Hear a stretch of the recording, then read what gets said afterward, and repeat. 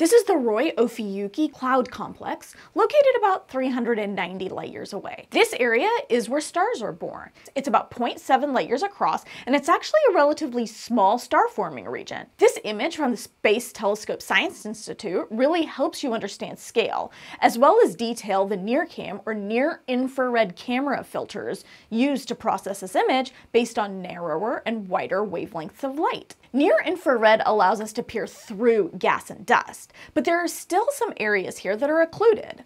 That's where the gas and dust are the densest, and there are likely protostars forming inside.